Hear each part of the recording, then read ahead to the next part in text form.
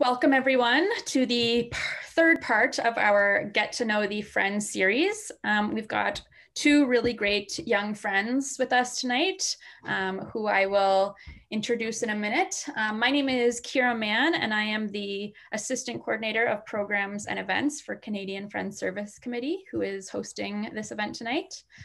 Um, I just want to let everyone know that this evening is being okay. recorded. Um, and that's just for the archives and also for friends who uh, cannot be with us tonight. So if you do not want to be recorded, please turn off your video. Um, that would be great. I'd also like to start with a land acknowledgement. Um, so um, I live and work and the CFSC office is located on the traditional territory of the Wendat Petun Nation and most recently the Mississaugas of the Credit River.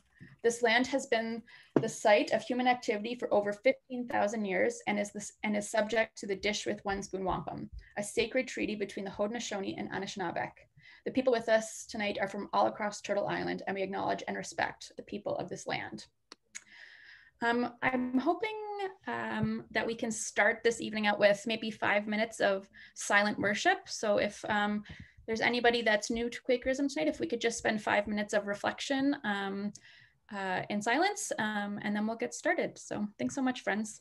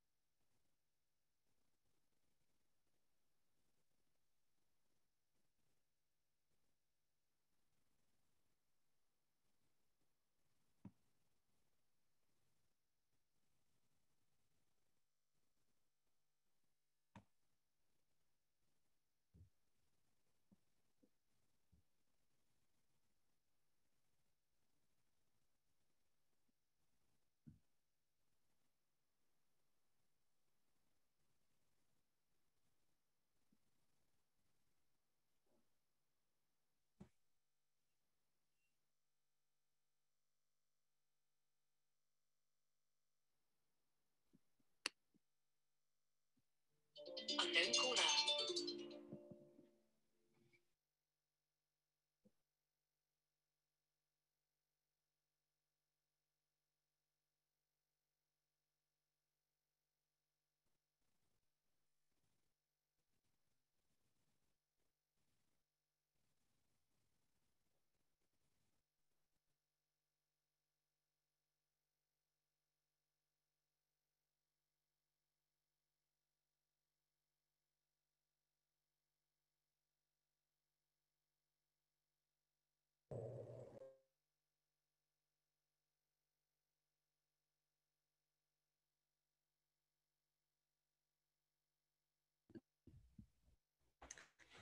you so much, friends. Um, and thank you for joining us here tonight. Um, I'm just going to start us off with a few housekeeping items. Uh, it's the, the same spiel I give every time. Um, so I'm sorry for being repetitive. But um, I'd just like to ask you to keep yourself muted throughout the speaker's remarks and only unmute yourself if you intend to speak during the, uh, during the discussion. Um, uh, please keep the discussion and the chat a safe and respectful place for everybody. Um, if you're having issues with connectivity, which I think I am, so um, I'm sorry about that, um, try turning off your video um, and that usually helps the connection. If that doesn't work, I'd suggest just leaving the meeting and re-entering. Um, just a reminder for those that have joined us since I mentioned this earlier, that um, this evening is being recorded um, to share with the Quaker Archives um, and any friends who were not able to join us tonight. Uh, if you don't want to be recorded, please keep your camera off.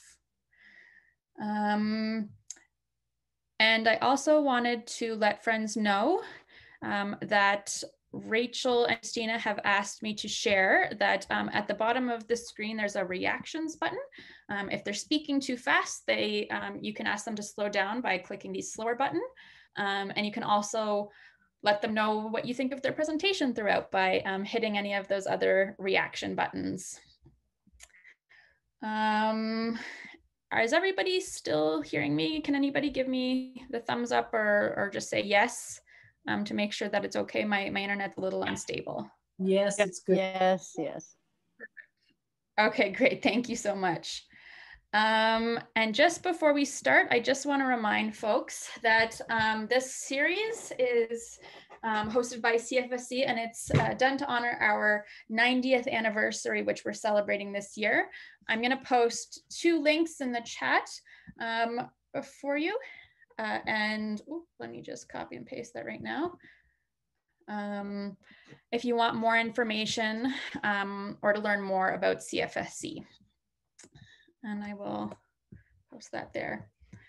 Um, now to the good parts. Um, I'm gonna let um, Rachel and Christina uh, introduce themselves a little more thoroughly.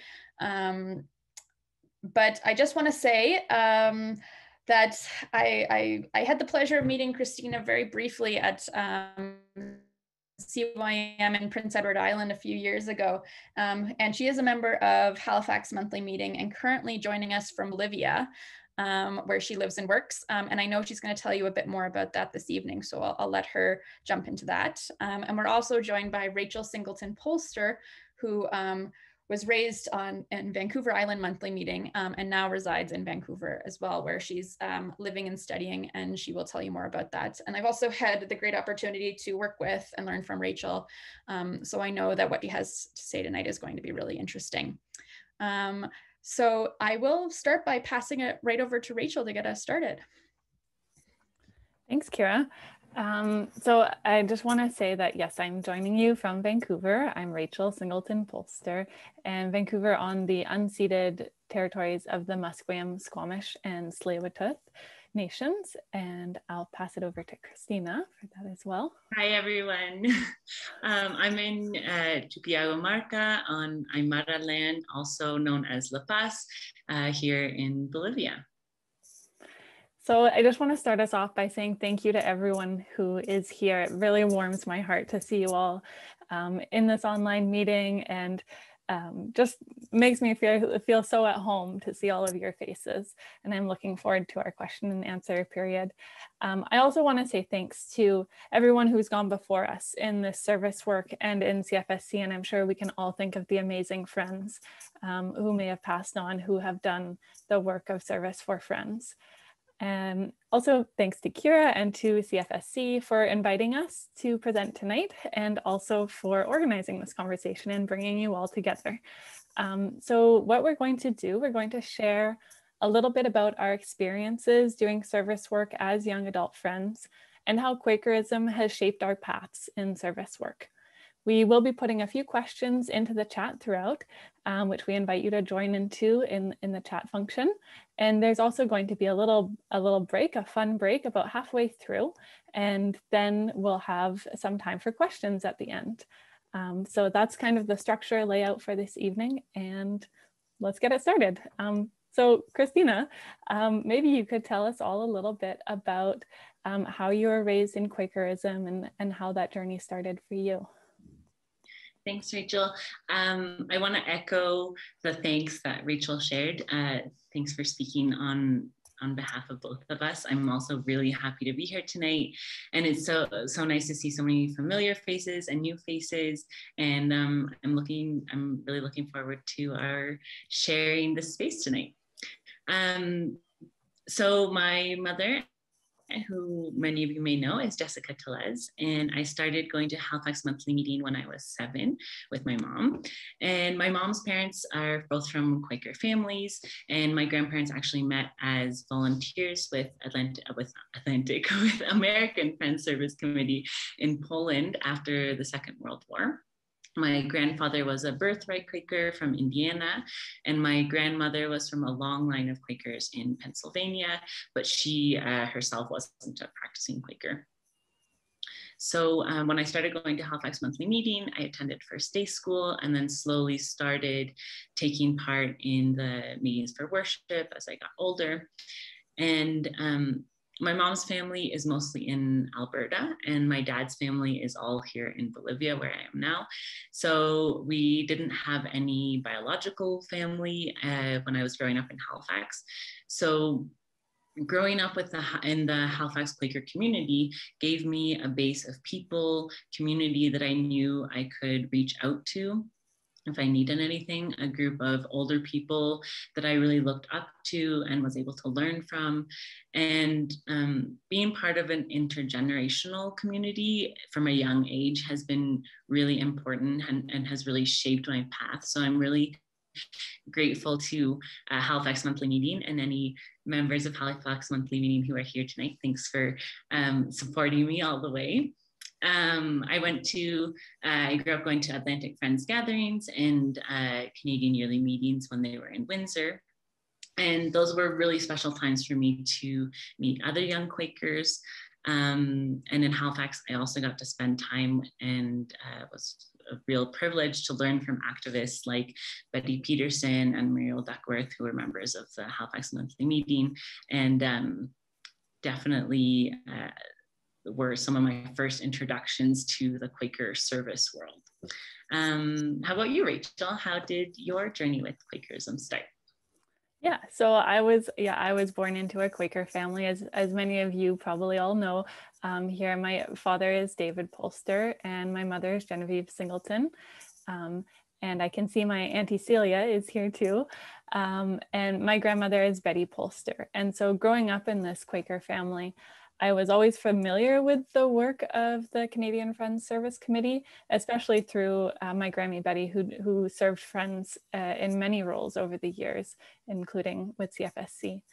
And like Christina, the, those gatherings were really crucial to me growing up as a young friend, um, where, you know, the small community that I grew up in, it was my siblings and my cousins were the young friends nearby. And those, you know, for me, Western half yearly meeting in Sorrento and in the prairies, um, those were sort of where I was able to form friendships and where my spirituality as a, a young friend was affirmed in a really fun community, uh, in one grounded in worship and, and learning from friends in an intergenerational way.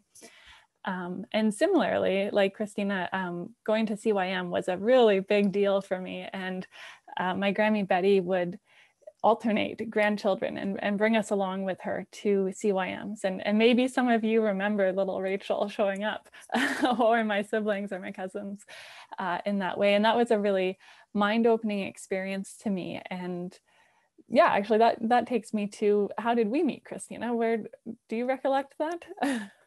um, we in preparing for this we were sort of going back over because it was a long time ago. Um, but we did meet for the first time at canadian yearly meeting in windsor when we were both early teenagers i think early mid teenagers um, and I remember that yearly meeting because it was one of the first times that as a teenager, I was with so many other young friends.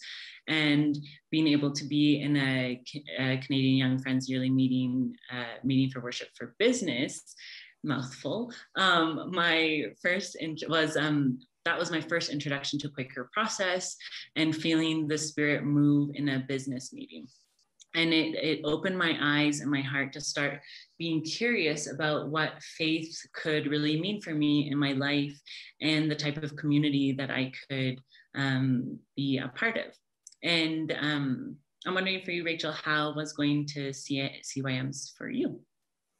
Yeah, I was I was thinking about that that meeting, and there, it, you know, our friendship is just one of the many friendships that I think as young friends there's that you know, and, and I think for all of us, when we attend these Quaker gatherings or even here on Zoom, we can feel that connection of, of our, you know, shared values and shared faith.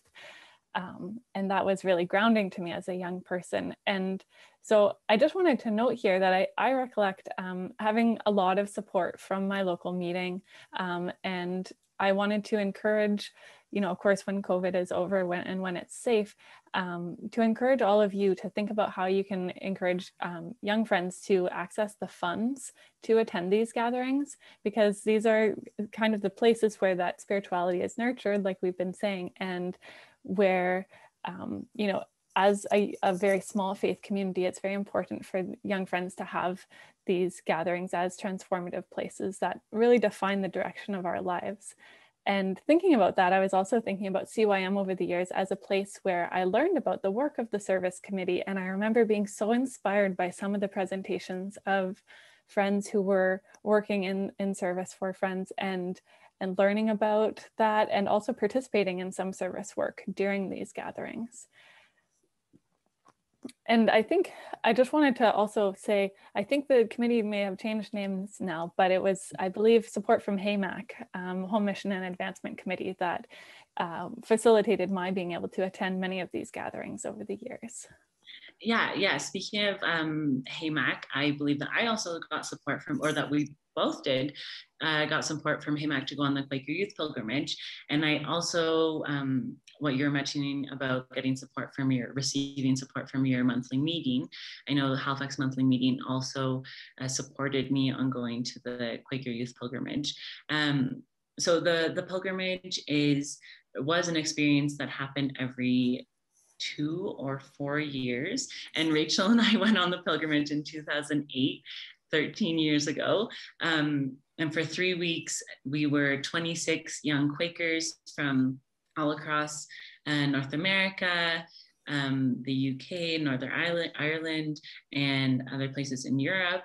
Um, and um, there were five of us young friends from Canada and three older mentors. We traveled around the UK and Northern Ireland and we worshiped at historic Quaker sites. We visited meetings. We learned about Quaker history and Quaker process.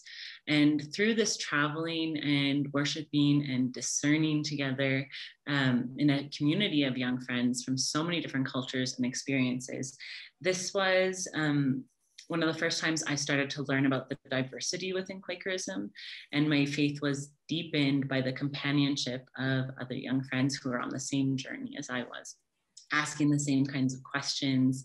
Um, and having the same kinds of doubts And this really gave me a sense of belonging and community. And also, the pilgrimage introduced me to Quaker service work. We learned about Elizabeth Fry. We visited different Quaker centers that were doing conflict resolution work.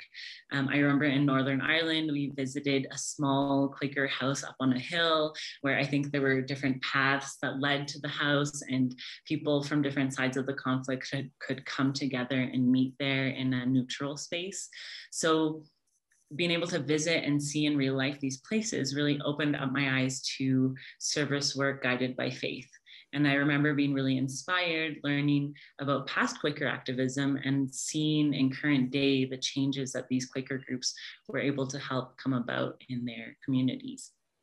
Um, what impacted you about uh, the Quaker Youth Pilgrimage, QYP? Yeah, for me, I think thinking about um, so the pilgrimage was organized. It's one of the functions that the Friends World Committee for Consultation carries out, and so we really were able to engage with a world body of friends beyond you know this little bubble of Canadian friends that we both I think found so special. And for me, it was it was also really special because um, I was also joined by my cousin Ellen Cheatley on the pilgrimage, and you know, deepening that friendship, deepening the friendship with other the other young friends that I met for the first time on that pilgrimage. Those are friendships that still, you know, are part of my faith journey today. And even through this pandemic, it's been amazing to to worship with those friends and you know very far away places but now that we have zoom worship it's been great to connect in that way. Um, and similarly um, qyp strengthened my faith as a, as a quaker and um, sort of helped me understand really the the meaning of worship in um, for my Quaker faith and prioritizing long periods of silent worship every day for over a, for a, just about a month was actually a very you know um, phenomenal experience as a young friend and especially also the environment in which we are able to worship and learning about the history of friends uh, at Pendle Hill, at Swarthmoor Hall, in meeting houses that had hosted worshiping friends from the very beginning of our tradition, you know, across 1652 country and, and places I'd, I'd heard people, you know, I'd heard my Grammy talk about all these different places and then I was able to visit. Um, opened my eyes to the history of our, our, of our faith and to the history of service in our faith as well and and how those are two very interlinked things. So i'm going to put a question in the in the chat now um, actually about how you know reflecting on what you've heard from christina and i and how formative these experiences were. Um, the question is in the chat now um, and it's how do you support and nurture young friends in developing their faith by connecting with other young Quakers and following where the light leads them in service of a more peaceful world?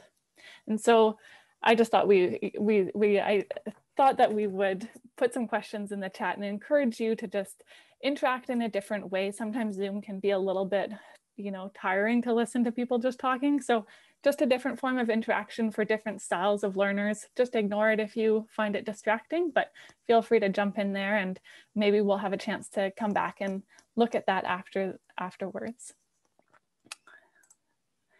Um, so yeah, I guess that takes us from sort of an early part to like a, from a foundation to wanting to hear more about Christina. How did your experiences as a Quaker really shape other experiences in your life?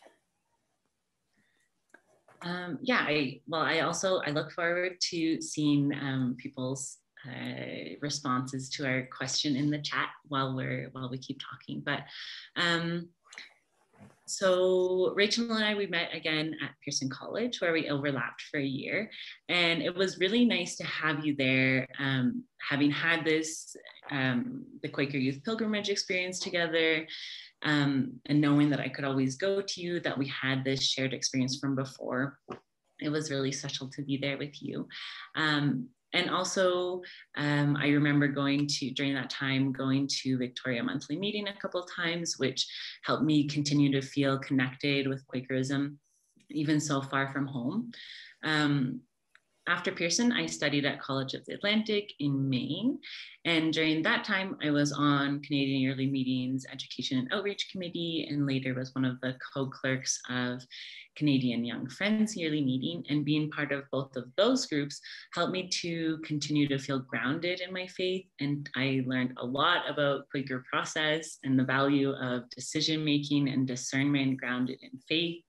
Um, so I'm really grateful for um, being able to have both of those experiences on the uh, Education Outreach Committee, which I think um, is the transformation from HAMAC, um, and, uh, and being a more central part of Canadian Young Friends Yearly Meeting too. In my last year of university, I was studying here in Bolivia, and I was happy and grateful to receive the support of Canadian Yearly Meeting to attend the Friends World Committee for Consultation, FWCC, World Plenary here, not here, but close to here in Pisac, Peru, which I attended with Steve Fick as, um, and we were the two Canadian representatives. It was incredible to meet friends from all over the world. There were over 60 young friends there, which that was incredible too. That was, um, I don't think I had up until then been in a gathering of young friends that large. So um, it was wonderful to worship with that many young friends. And um, that experience at the World Plenary was um, a time when my understanding of faith translation deepened. I practiced listening deeply to friends with different experiences of Quakerism. And for me, faith translation means practicing listening, trying to understand beyond the language that we use, and to try to find common ground through um, through this type of listening with people who have different experiences and beliefs. And it's a practice that's helped me in lots of other areas of my life as well. All of these experiences in Quakerism taught me to be open to leadings and to listen deeply to the ways of the spirit, even when it may surprise me, most often when it does surprise me. So I want to share a story about this, um, about, about the ways that I've experienced this. In 2016, I visited my mom in Labrador for about five months. And I was very privileged to be a guest on the land where Inuit, Innu, Métis, and, uh, and um, uh, communities live. I was there just when Harvard University published a study showing that the Muskrat Falls hydroelectric dam would leach methyl mercury into the Churchill River, where the reservoir, um, when the reservoir of the dam was to be flooded.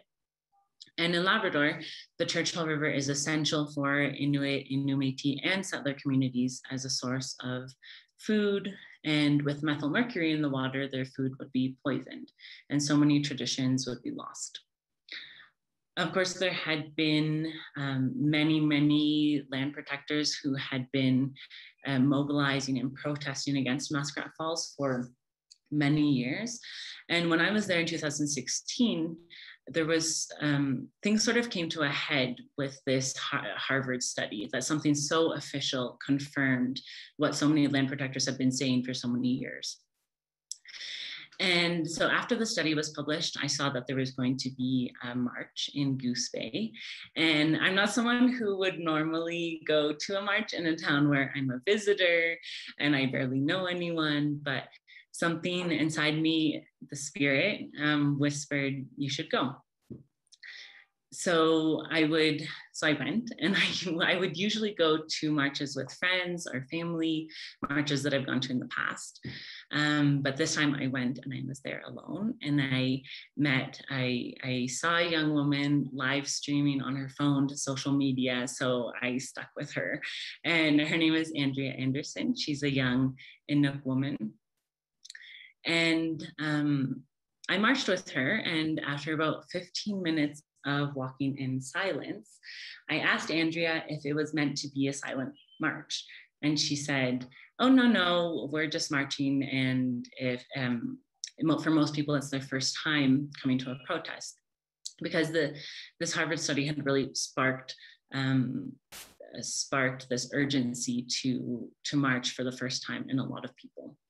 And I was very surprised when I found myself saying, oh, we should lead some chants. And especially as a Quaker, being comfortable with silence, um, here I was saying, oh, we should make some more noise. Um, but uh, I surprised myself because I had never led protest chants before in my life. But this was one of the first times in what would become a three week movement where I felt the spirit leading me to offer myself to fill holes, gaps, to do small things that would support these communities in their search for justice. So, much to my surprise, I found myself checking with Andrea to see if she thought that chanting would work. And she kindly told me um, that chanting may be a bit beyond what folks would humor or be up for. But, um, but she said we should try it out anyway.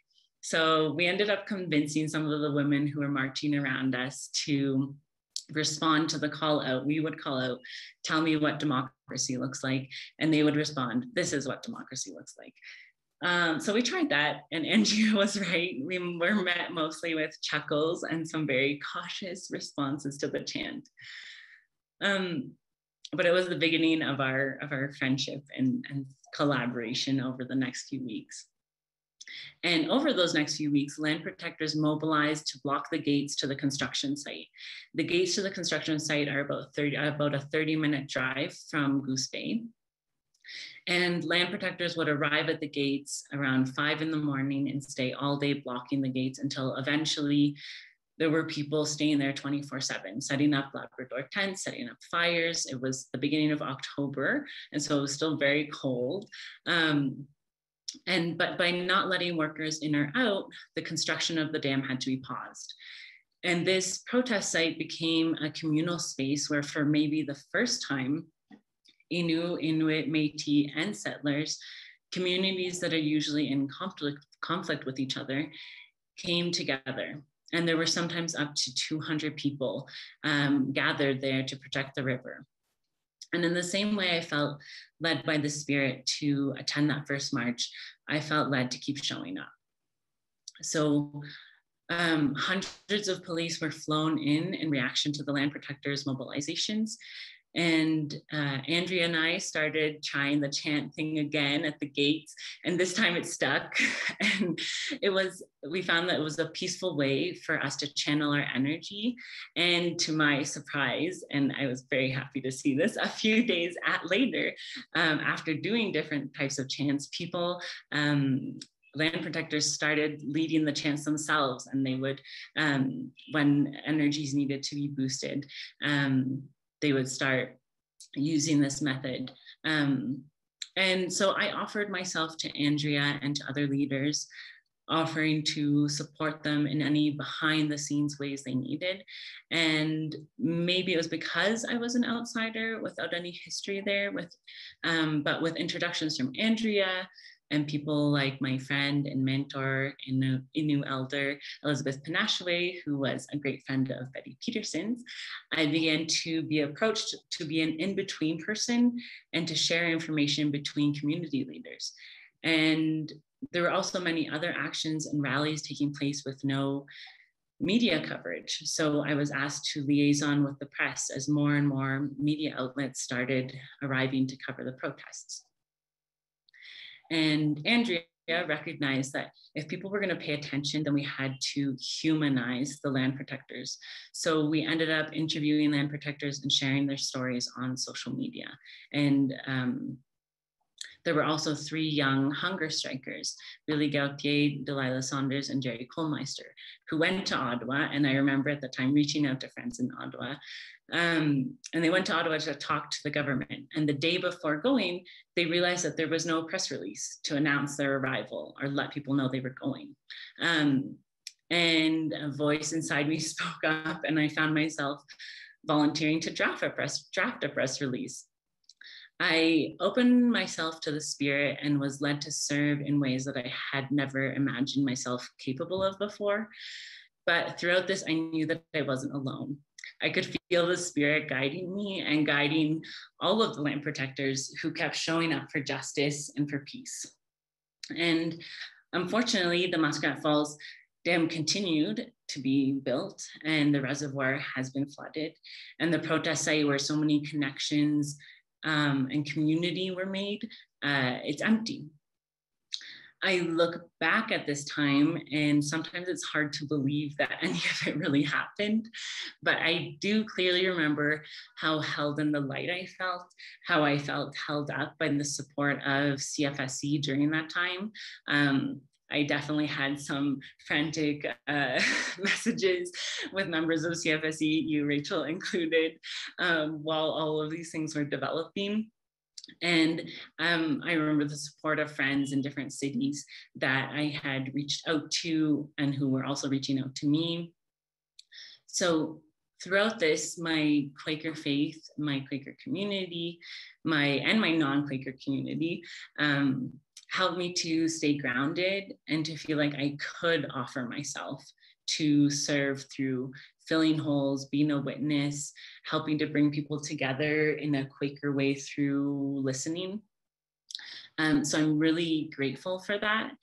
Um, this was one of my first experiences outside of the Quaker world when I felt that my Quaker identity was really coming into play with my service. And I'm curious about your experience, Rachel, in the Quaker service world and how your experience um, in Quaker service began. And yeah, if you can share a little, that'd be great. Well, thanks, Christina, for sharing your stories. And I think uh, I, I, remember that time very vividly and feeling grateful for our friendship um, through then and the friendship, capital F and small f, that can then help support each other in these different times. Um, so for me, when I left Pearson College, um, where we were at school together, I, you know, straight out of high school, I thought, well, I didn't think. I my dad forwarded me an email um, saying that CFSC was looking for interns, and I thought, oh, there's no way I could do that. But I was encouraged to apply, and I did. And I remember writing in my application that I was looking um, for work that I felt could align with my values. And of course, at um, you know, then and still now, I felt like CFSC really was the, the that home place for me, um, where I could find work experiences that also fed my spirit and back and forth. And I was really fortunate to start my internship in BC and uh, learn from former program staff working on jails and justice, Meredith Egan, who opened my eyes to the power of restorative justice. And then I carried on to learn from staff in Toronto and actually started with a week at work camp at Camp NeeKauNis, um, which I saw in the chat was coming up a few times. Thanks, Pete and Jen. Um, a great place to, to nourish young friends, absolutely. And I was very grateful that part of my internship was, was going to camp. um, as a West Coast kid, that wasn't um, something I'd grown up with, but I was really happy to finally uh, see that beautiful place. And so I'm very grateful for the friends who continue to uphold Camp NeeKauNis as a space for young friends. Um, while in Toronto, uh, I was mentored by Jane Orion Smith and Jen Preston, and also I uh, I was diving into learning about conscientious objectors and about Indigenous rights at the intersection with environmental justice. And while I was in, in while I was an intern, I was blessed to be taken in um, by the late Phyllis Fisher, and I stayed in her home over that summer and uh, many of you will remember Phyllis's lifetime of service and her practical manner and approach to making a positive difference in the world. And I, I just loved hearing her stories about her work with alongside my my grandmother um, that they did at Grassy Narrows um, way back in the 70s. And I, I would say I was astonished, but it's really not so astonishing um, that I was continuing that work. Um, and CFSC continues to connect with Grassy Narrows. And I believe there's actually an online rally coming up next week. So to think about the work of CFSC spanning 90 years, but also spanning the last 50 years um, with one community and supporting that community in their struggle for for justice in fighting the mercury poisoning then and that's again you know then connected to what christina was just telling us about on the east coast so after my internship i remained connected with cfs3 with cfsc through um, university and connecting in bits and pieces over the years. And then I was, through my uh, interactions with CFSC, I was encouraged to um, work as a program assistant for the Quaker United Nations office in New York. And QUNO has offices at the UN in both New York and Geneva. And there I learned about how to support peace building and prevention of violent conflict through what uh, we call quiet diplomacy at Quaker House. And um, was also fortunate there to work with Canadian friend Sarah Clark, um, who some of you might know from Ottawa, uh, learning about really kind of how to speak what I would call like the UN language or the UN lingo, um, but then translating that into um, you know connections just as human beings at the at the Quaker House in New York. So friends there, similar to many cities around the world, have a Quaker House, which is a property near the UN. Um, and there, the work that we did was really about not the end goals, but about the ways that we did the work together. And so really about relationship building.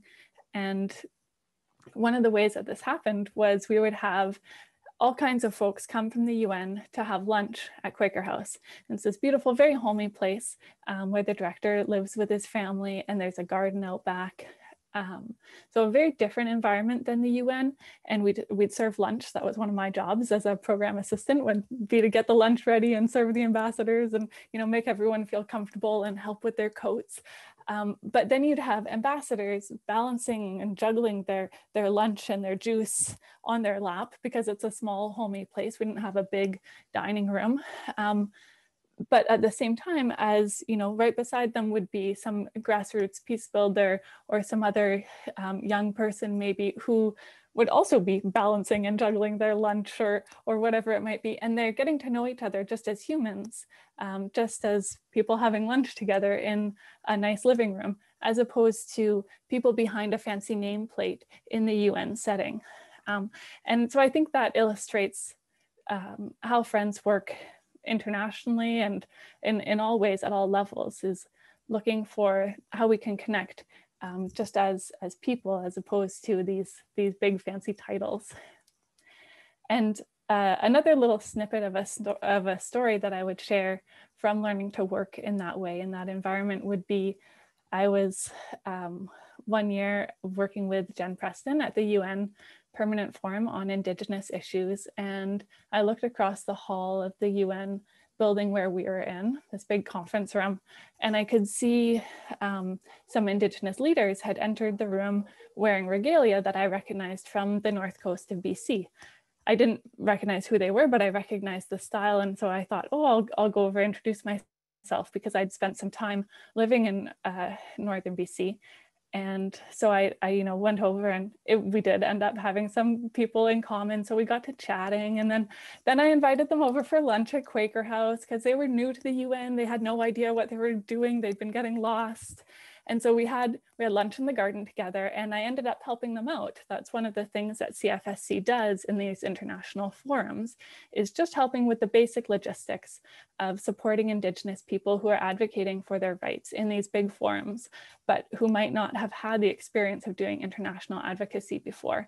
So things like helping an elderly uh, hereditary chief have a, a, wheelchair to be able to move through the UN, um, helping them print their statements, very basic things like that, that can really make all the difference in having your, your voice heard.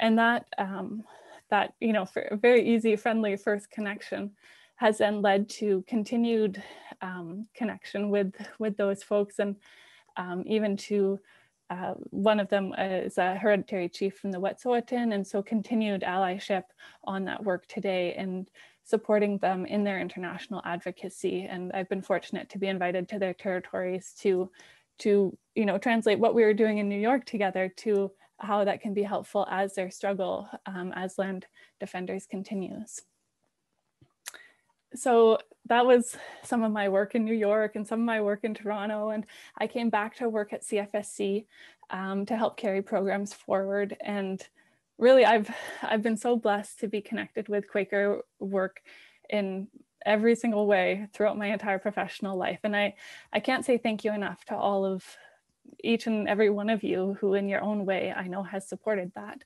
Um, and so when I came back to, to Canada after working in New York, I was hosted, um, I think I saw Monica join. I was hosted in Monica's home in Toronto. um, and continued working closely with Jen Preston, bridging my knowledge of, of the UN and working on the Truth and Reconciliation Commission, um, work in Canada, and again, linking using that, that language that I had learned to speak um, at the UN and able, I was able to actually help secure a statement from the Secretary General at the time um, Ban Ki-moon for the closing of Canada's Truth and Reconciliation Commission. And this was kind of a funny, like, you know, we tried getting this statement for months and months, and it only came together at the very last minute. I remember I was actually having dinner with a friend and I got this call and I had to step into the bathroom of the restaurant because it was so noisy. And it was the office of the Secretary General being like, uh, We have your statement. Would you like it for tomorrow? And I was like, Oh, yeah, we definitely need that. um, but just, you know, trying to, and, and that came about because, again, of a connection that I'd built with a young woman and, and getting to know her. And then we were able to support each other. So it's really all about those human pieces within these big systems then that come together in making our service work a reality. And I just want to plug um, now, uh, friends, many of you might be familiar with the work of CFSC on implementing the UN Declaration in Canada. And we know that um, Bill C-15 is going through the government right now. And as a faith body, it's our responsibility as friends to um, follow through on the calls to action of the Truth and Reconciliation Commission and to support the implementation of this um, very important uh, UN declaration in Canada. So Kira, I think is going to help us by popping um, some resources for that into the chat, but if she doesn't, I will get to it later. So no worries on that. Um, you can also find that on the CFSC website, quakerservice.ca, as well as um, the Declaration Coalition.ca, I think.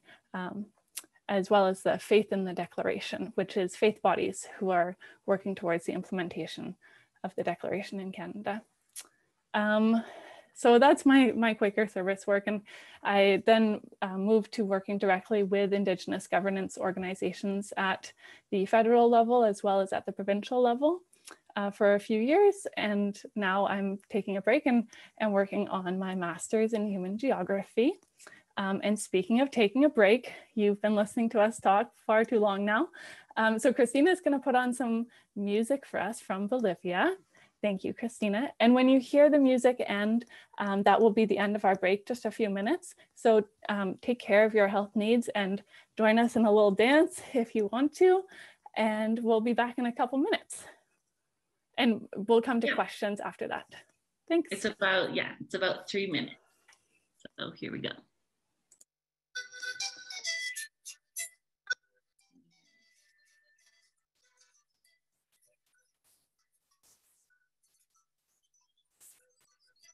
It's not loud enough. Okay.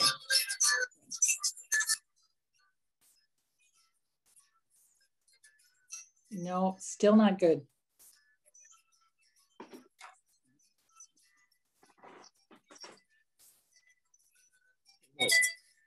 Okay, wait. Oh, okay. I did not share yet. Here we go. Here we go.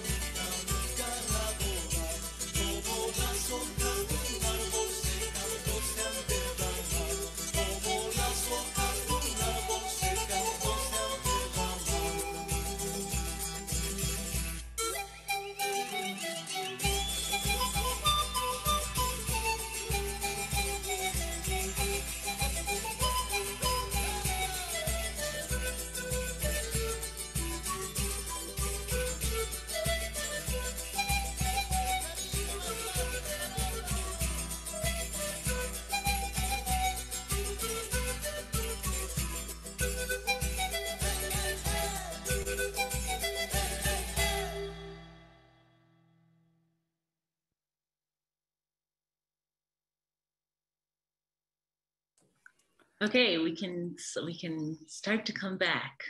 If you've taken a little break, if you're somewhere else in the room, come back. Um, I'll give a few seconds. Um, we're going to put another question in the chat. Thank you for everyone who um, commented. I look forward to reading all of those comments a little bit later and hopefully we also had the idea that that could sort of be like a like a brainstorm um, for people to share ideas too so i look forward to reading those. And so now i'm going to put another question in the chat. And um, when Rachel and I were preparing this, we reflected on how there are so many Quaker writings and traditions that have inspired both of us on our service journey. So I'm going to put the question in the chat. And if there is um, a, write, a Quaker writing or tradition that inspires your journey in service, and um, please share it. And uh, we also wanted to mention that service can be um, have a lot of different definitions for everyone. Um, it can be any type of action, however you feel that it is um, service. So I'll share um, one now and I'll put it in the chat too to start things off. It's advice and query number seven. Um,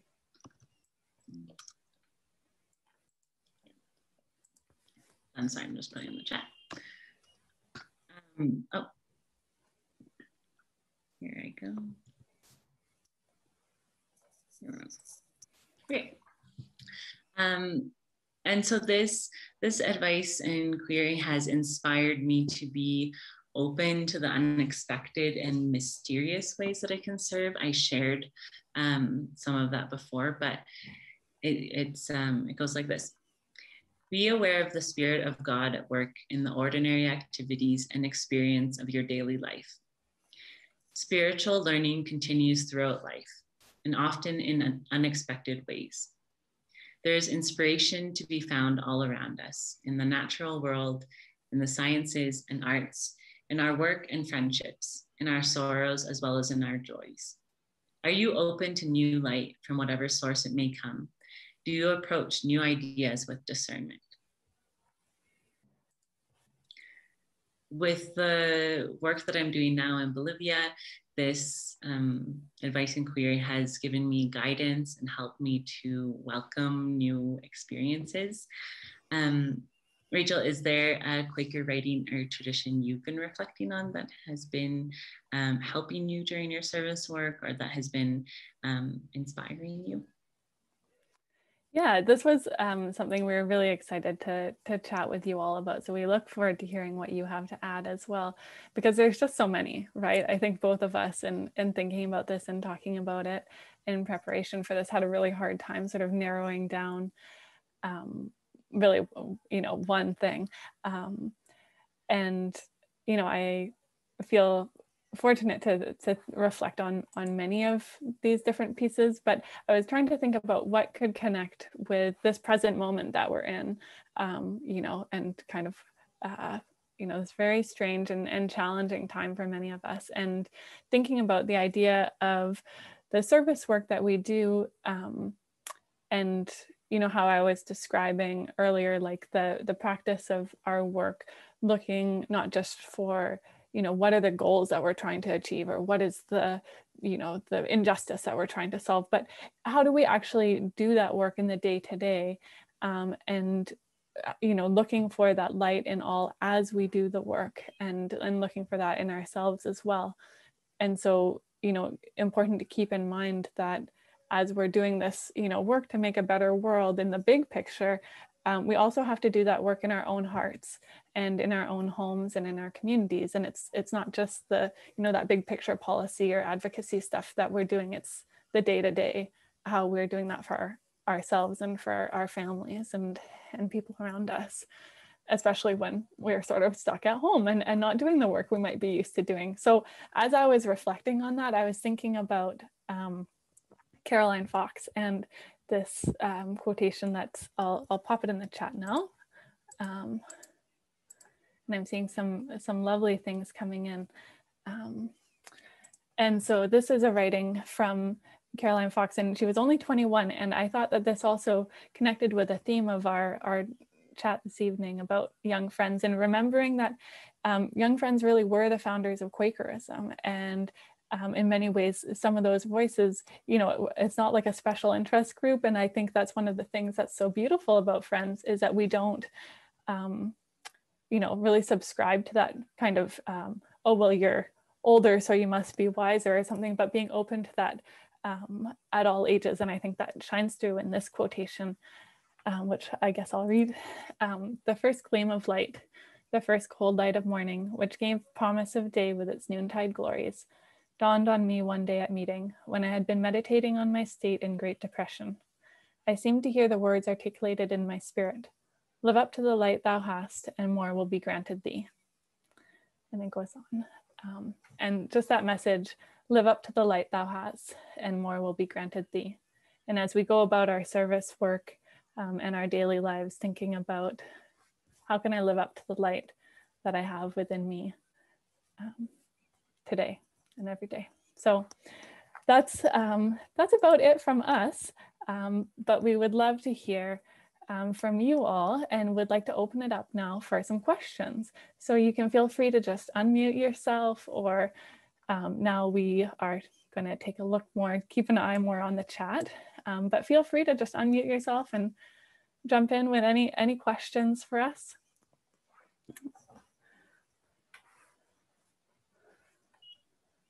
Caroline, I was thinking about the song um, and thinking of you singing it actually as I was sharing it. So thanks for noting that in the chat.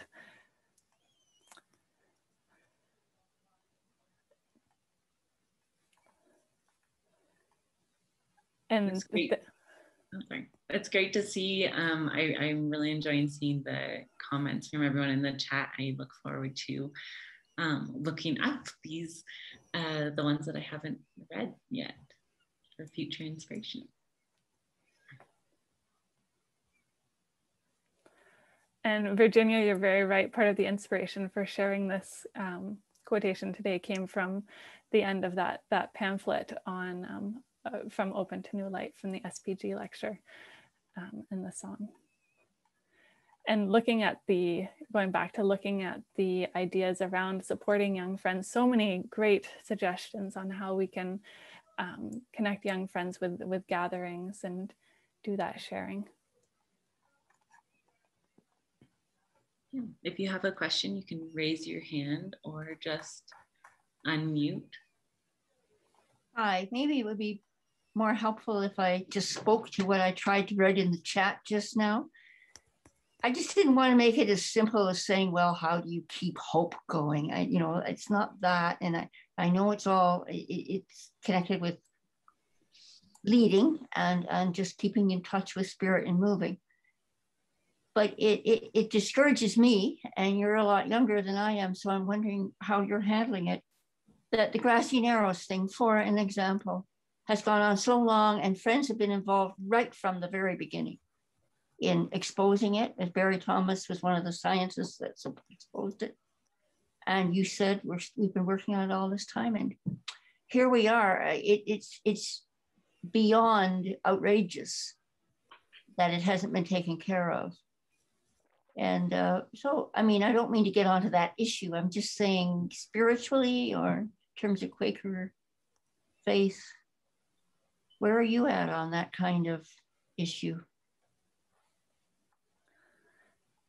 Thanks, Margaret. That's a um, that's a really challenging question. I know. it's and it's a really good one. You're getting to the you're getting to the heart of it, right? And um, Christine, I don't know. Do you want to take a go first, or should I? yeah, it is. Um, for me, um, so how do I maintain hope? How do I keep hope?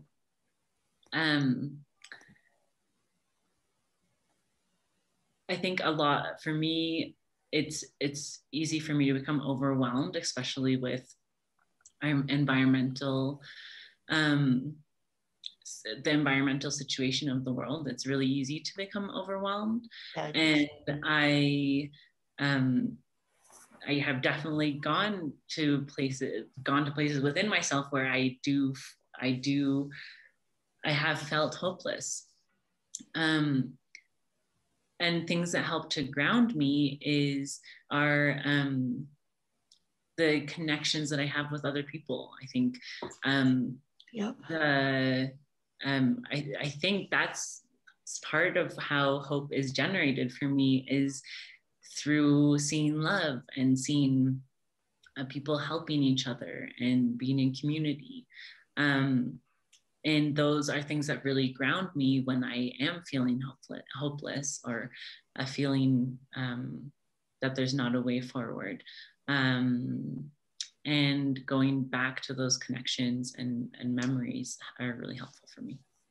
Yeah, what Christina shared there, I think for for me, like even doing something like this and reconnecting um, with you know a, another young friend and seeing all of your faces on the screen, there's a reason we're all here, and and part of that reason is that we we share a faith, mm-hmm. and at the core of that is worship, right? And so I think at times, um, especially working on something like you you know so rightly notice like the grassy narrows issue and and so many issues around um, environmental justice indigenous rights these are struggles that have been ongoing since well before i even arrived on the planet and uh, how could i think that i would have anything to do with that um, mm-hmm.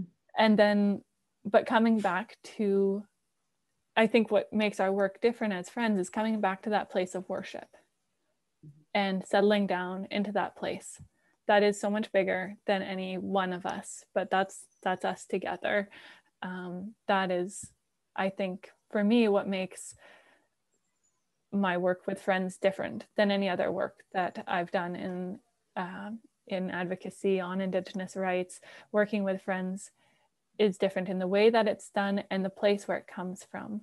Um, so for me it's not um, that's not sort of like a naive hope. No. that's that's a faith. And i think that's different than hope mm. in many ways. Mm. thanks a lot both of you. Thank you for the question. Yeah. Yeah thank you i'd like to add in that um, recently i took a short three session class through pendle hill called the inner guide versus the inner critic and the teacher made this wonderful point that our inner critic, which we originally acquired when we were little as a way of helping us operate with the social mores and expectations of our parents. So it had a big safety role, but it, it can't run our lives when we're adults. So growing up means learning how to tell the inner critic to either completely shut up or sit in the back seat that you're the driver of the bus. And she characterizes the inner critic as being loud and tapping into our doubt and our discouragement and being repetitive.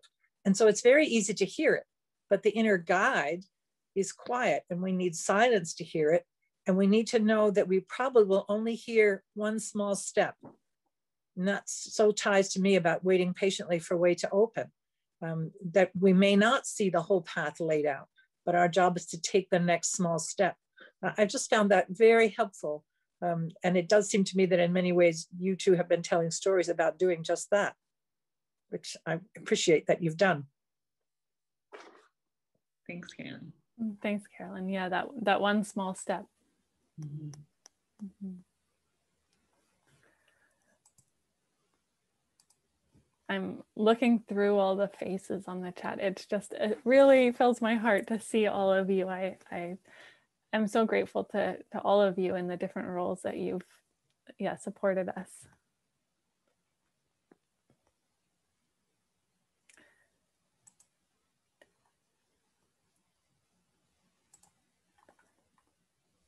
Uh, about hope, uh, this is Maida Fellini from Halifax. Um, Mr. Rogers, who brought up my children, uh, said, look for the helpers when people are down. He said, look for the helpers. And a, a helper was uh, honored in the newspaper this morning. He was a man who looked out his window and he saw a deer struggling on the ice. The, the deer was in the water but couldn't get up on the ice in the lake. Mm. So he took a canoe out and a strap and he went, pushed his canoe along the ice to where the deer was. And it was not easy, but he managed to lift the deer into his canoe while the deer struggled against him, of course, and kicked him but and he pulled the canoe back to the land and he lifted the deer out. And uh, and then he went in the house to because his presence was disturbing the deer. The deer was afraid of him. So he watched and the deer stayed there for a while just stood there on the shore. And then after a while she gained confidence and she went leaping away into the woods and well, that's just one deer, it, and it doesn't save the world, but it's like the little boy who threw starfish back into the ocean. And his father said, Look, you're not going to be able to throw all the starfish that are drying out on the shore. Eh, there, you know, there are hundreds of them. And, and he said, the little boy said, Well, it matters to that starfish. So I think we have to take that there's always this conflict between helping and destroying, and we have to uh, make sure we're on the side of the helpers and support other helpers like Christine and Rachel and and uh, do what we can to support the um, the positive. Thanks for sharing that, Maven.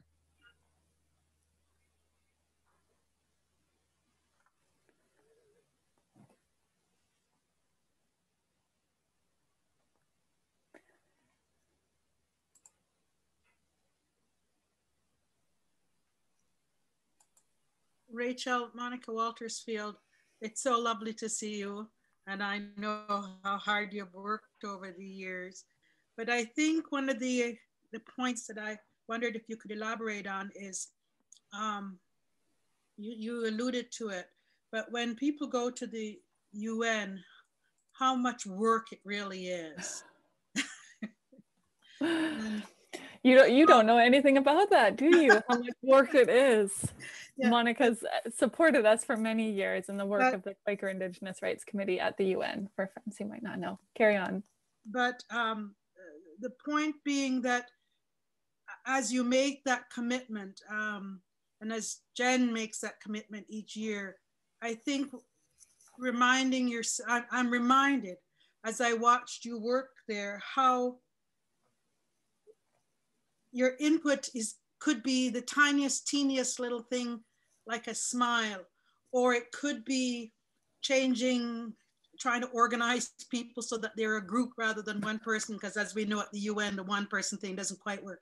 But if you could elaborate what sustained you as you did that kind of what I call knitting together the, the, the loops of this vast organization. And I often ask Jen about this all the time. What sustains her? And I wanted to know, both of you, what sustains you as you do this kind of work that you are giving most of the time rather than receiving? Hmm. Thanks, Monica. A, a great question and a good one for reflection. Two things first um, jump to my mind around and what you're describing about the work at the UN and when we're in these big conferences. So every year, um, CFSC goes to attend the UN Permanent Forum on Indigenous issues, as well as other forums and other UN meetings.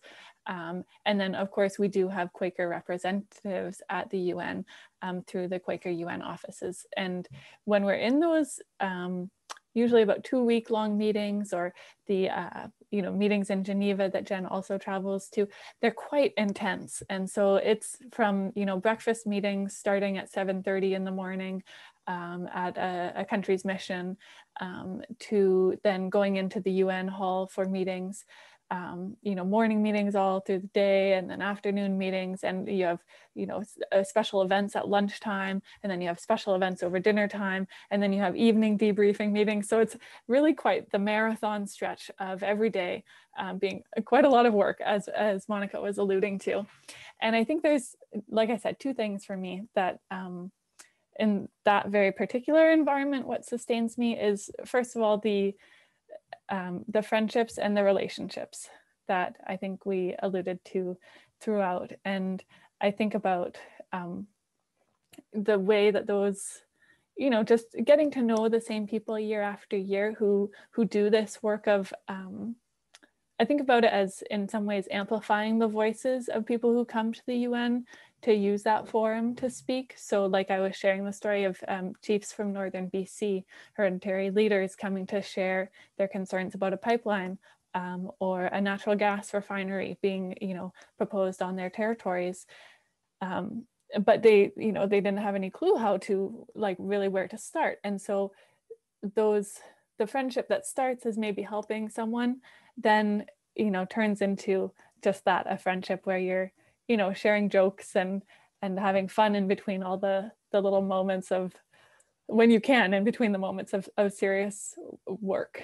Um, and and then the other thing i think is it kind of comes back to that other question around hope um, about sustaining oneself through this through this long work.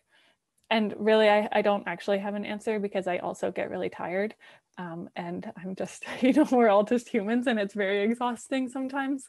And sometimes you feel like everything went wrong and you you couldn't do the right thing in that in that moment. And so it's not all, you know, yeah, it's not it's not all perfect. Um, but connecting with the like I was sharing about the environment of Quaker House. And for me, I'm a, I'm a geographer, so I'm all about place. And I think about the environment of that room that has been, um, and Quaker houses all over the world, I think do the same thing, been home to so many people who might need a home at that moment or who might need to tell their story and have it heard. And the power that is then imbued in that physical space because of all the people who have shared their stories, have shared their experiences in that place, but then who have also worshiped in that place. And that comes back to what's special about Quaker service work is there's that intermeshing of um, spirituality, of faith with the hard work. Um, I don't, I hope that makes sense, but th those physical places carrying all of that. Um, yeah. Christina, what about you? That was a big question. Yeah. Um, I really appreciated the things that you just mentioned. Um, for me, places that I get my strength when I'm, uh, so the work that I'm doing here in Bolivia, I'm working with a Canadian NGO. I've been working with uh, two different Canadian NGOs since 2016. Um, and a couple of things that really helped me. One is a sense of curiosity, and um, that that sort of keeps me going, being curious about the next thing that's going to happen, the next interaction, what could come. I've been working mostly with women's groups here, so. Um, they're very dynamic groups, so uh, making suggestions and seeing what could uh, unfold. Um, also, uh, a sense of humor um, that really gets me through not taking things that maybe don't go as planned uh, too personally or taking them so close to heart. So having a sense of humor um, really helps things sort of roll off. Um, and then also um, uh, rely coming back to faith and to my faith and um, coming back to my spiritual journey and all of the experiences that I shared that really do keep me grounded. And I feel like I can come back to those experiences in moments where I don't feel as strong as um, maybe I need to to carry on with the work that I'm doing. So um, being able to reconnect, um, that's something that uh, helps me to be strong and, and carry on as well.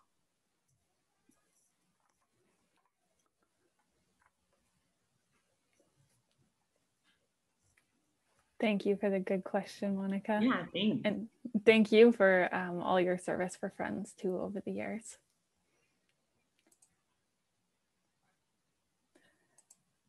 We have a bit more time for questions if anyone would like, or if you would like to share um, what you added into the chat, either on supporting young friends or on uh, Quaker traditions or writings that have sustained you over the years, um, feel free. Um, I don't really want to do either one of those things right now, but I just wanted to say it helps me be strong and carry on as now that I'm old. It helps me enormously to see you two doing this work and to see some of the amazing young people who are just doing, I can't believe how, how competent and informed and educated and compassionate you are. Thank you and and uh, I, I it's it's really true that you're not, we're not here on the earth for very long, and and and it feels a lot longer when you're younger, and it feels very short when you're old. And if I didn't see young people coming along, you know, I don't, I don't, I mean, I would have a lot more trouble keeping going. So thank you very much. You thanked us a lot, but this really helps us. Thanks. Thank you. Thank you, Margaret. And I think, well, I maybe I can speak for both of us, but we definitely have had a lot of amazing role models um, in uh, in helping us in the ways that you mentioned.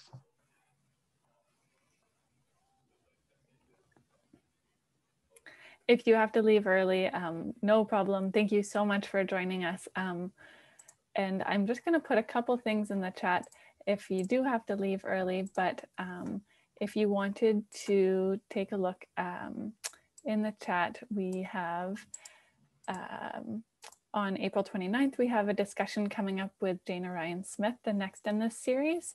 And we also have a little survey um, for how to um, give some feedback on how this all went um, and if there's anything that we could do differently for future sessions because we will be doing this all through this year to celebrate not we but CFSC not you won't hear from us again hopefully.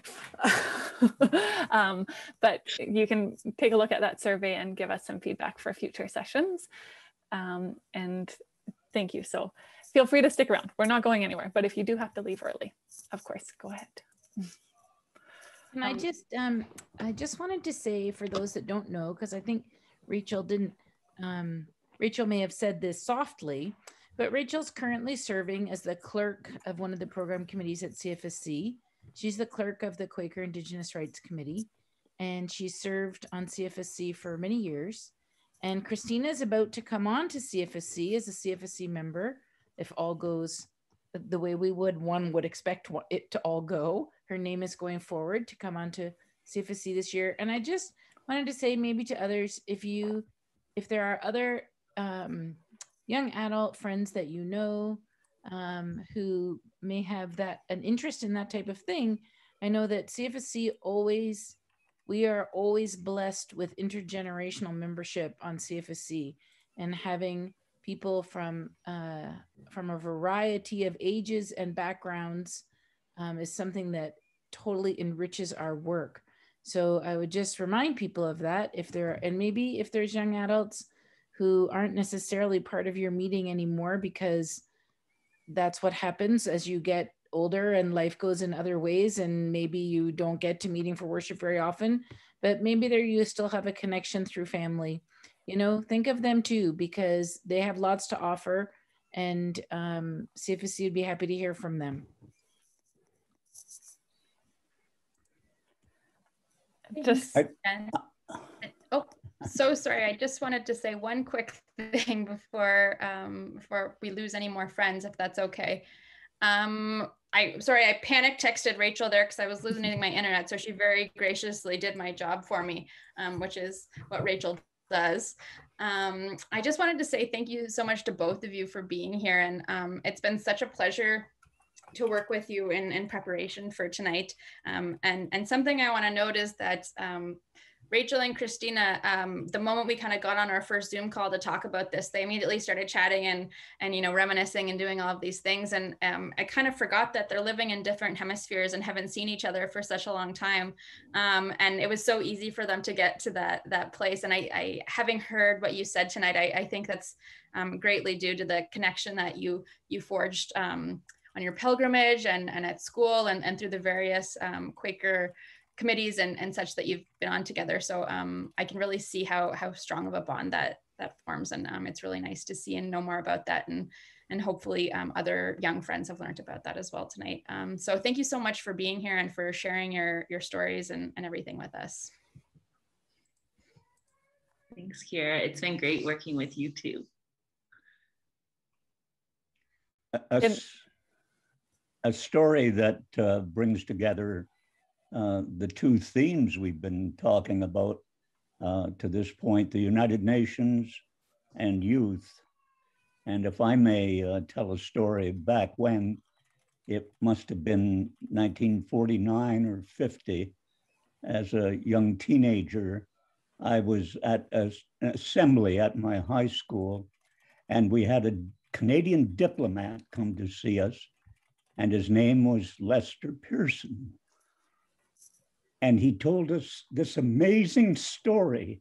Here was 800 kids uh, who have lived in the, the, the, the, the war economy, the war of, of deaths on our block and in our neighborhood. And that was our experience of the world. And suddenly there was this institution that Mike Pearson raved about He'd been working with it on committees and with people in both Europe and in North America. And it was called the United Nations. And all the countries that had been fighting would get together. And I was at the UN on one occasion, and I carried around that, that memory all the time. Thank you. Thanks, Don. As you were sharing that, I could picture in my mind um, one of the framed pieces of art in the Quaker UN house in, um, in New York. And I'm sure many of you can picture this in your minds as well, even though maybe you haven't been there, but it's one of the, oh, I hope I'm getting the name right, Elias Hicks paintings of a peaceable kingdom. And when we think about the vision for the UN um, and the vision of Friends and, you know, the service work that we do so often, that comes together in my mind with that vision as you were sharing, Don. So thank you for helping me paint that picture in my mind again. Thank you. Yeah, thank you for sharing that story. That's um, that's amazing that you were there and uh, that that there's this connection between that story and something that's had such a large impact on Rachel and my life. That's really, uh, it's really nice to hear about. And when friends ask us what sustains us and what gives us hope, it's, you know, little moments just like that. That's the, you know, the work of spirit and and those those mm-hmm. things. So yeah, thank you.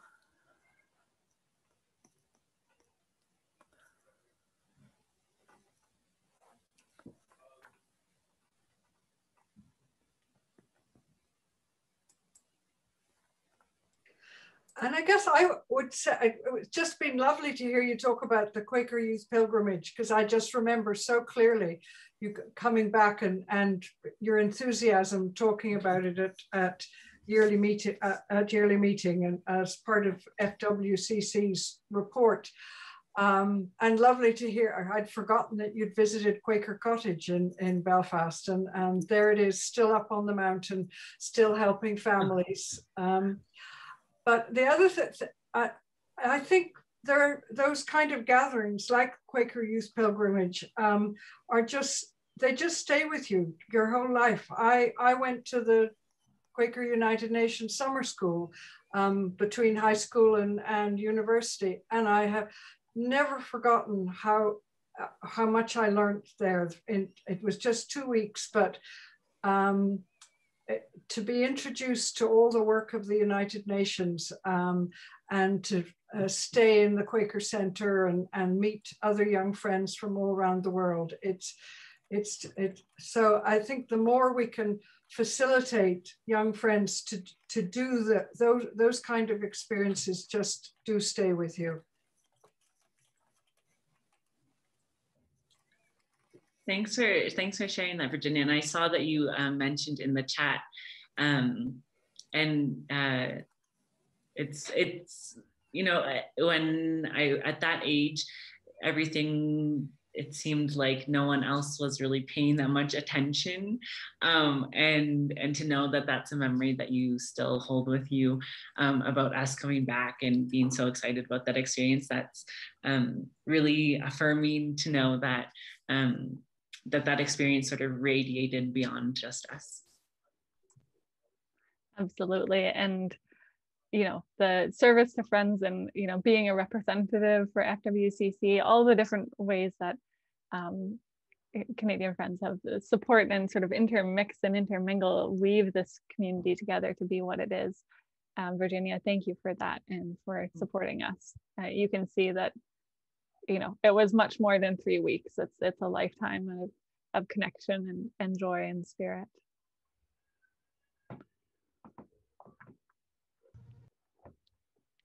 um, this is Maida Fellini again from Halifax. My daughter, between junior and senior high school years, went to a model United Nations, which was put on at uh, Mount St. Vincent uh, not Mount St. Vincent, Mount, the Mount in Sackville, New Brunswick, the, the university there. And it, it was only a week or a week or two, but she, each person, each high schooler, they're from different high schools in Nova Scotia. Each high school took a, was assigned a country to speak for and be representative of.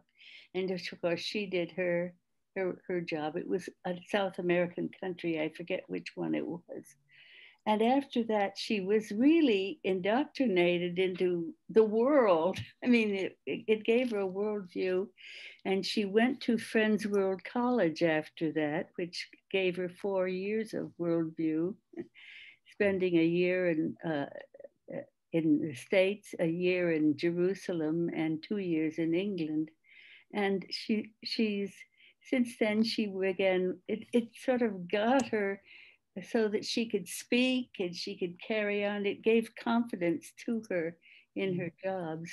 And uh, she became head of several centers. One of them was the Women's Center in, in the Tower District in London, England. And, and, and now she's working for uh, Quakers in Britain in their fundraising uh, section, and she also has a private uh, counseling practice.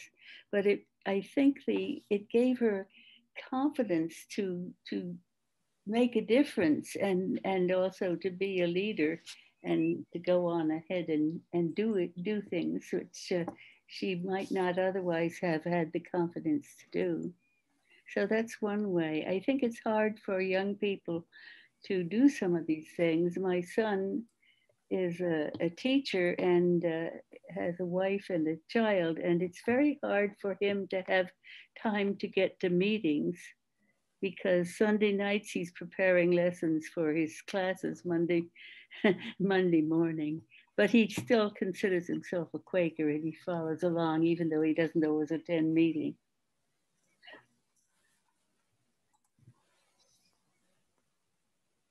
Thanks for sharing that, Maida. And I think what you were mentioning about um, those experience are, and and what Rachel and I have shared as well is that are those experiences um, of being in Quaker community from a young age have really um, given us that confidence to continue on our spiritual journeys in service.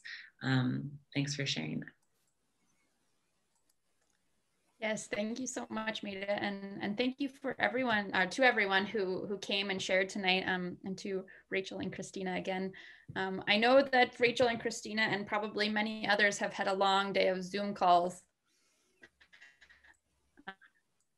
Um, so I I, I will um, permission to share their email addresses with everyone if, if anybody does want to um, connect more with them. So I'm going to post that in the chat right now. There we go. Um, and they, um, I'm sure they'd be happy to hear from you if you um, had more questions.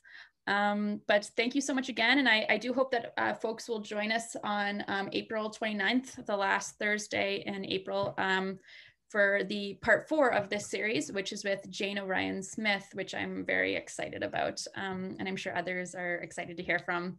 So um, thank you so much for coming. And I, I hope folks have a great evening. Thank you so much, everyone. It's been so nice to see your faces and to know you you're here supporting us. Thank you so much. Thank you so much, all of you. Really, really beautiful to see all of you. Thank you for coming out tonight and do be in touch. Hope to see you in worship soon. Everybody Thanks. take care. Is it over? Am I? Oh, okay. Mm. it's over. Thanks, Christina and Rachel. It's nice to hear from you. Nice to see you, Stephen.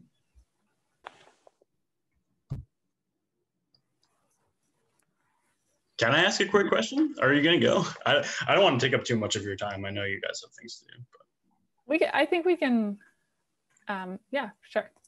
Thanks. We'll, we'll linger. yeah, I appreciate that.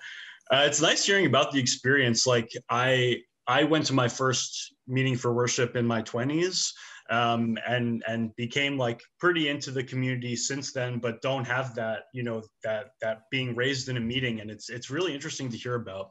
Um, I, I'm one of the representatives of uh, CYFYM Canadian Young Friends Yearly Meeting currently, um, and and a lot of us are in this kind of position of of uh, convincement within our 20s. I, I, I, know you don't have that experience.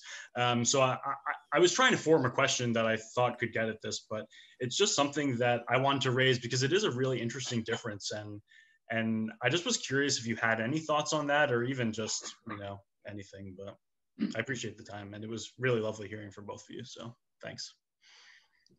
I find, well, for me, I find a lot of inspiration from young friends like you who were not raised in in a Quaker community. And um, yeah, I really enjoy sharing in spaces. I I really I don't really yeah I really enjoy sharing spaces with young friends that have uh, found Quakerism. I feel like there's um,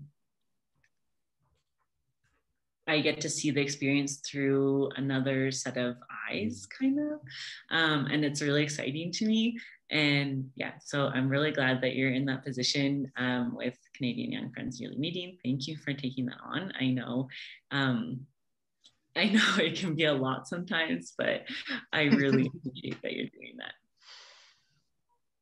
Yeah, I guess I would just add um, I think of course, you know, I feel very fortunate that I was born into a Quaker family, but also um, I don't think it's like so coming to Quakerism as a young adult. I also really admire that, and I get really excited um, by people, you know, that I meet that have found Quakerism. So I'm really happy that you're here. Um, but I, for myself, I guess being a Quaker, like it's not something that I I don't feel like being a Quaker like gives me um, answers or is like this is where you always belong or something mm. um, because I feel like it, uh, I'm always uh, challenging myself to think about um, why I'm a Quaker or what I'm doing. Like, am I a Quaker? Mm.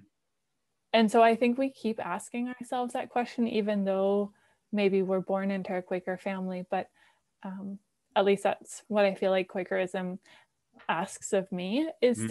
to do that continuing um, like self-reflection and like continued learning you know i guess continued revelation in, in the big picture but you know at the small level i, I don't I, I don't know if i will get that haughty but but you know what i mean like I, it's not just because you come at a different stage in mm. your life doesn't mean that we're not all always like arriving again you know and there are times where it like ebbs and flows um, so I'm happy that you're here and thank you for sharing that with us.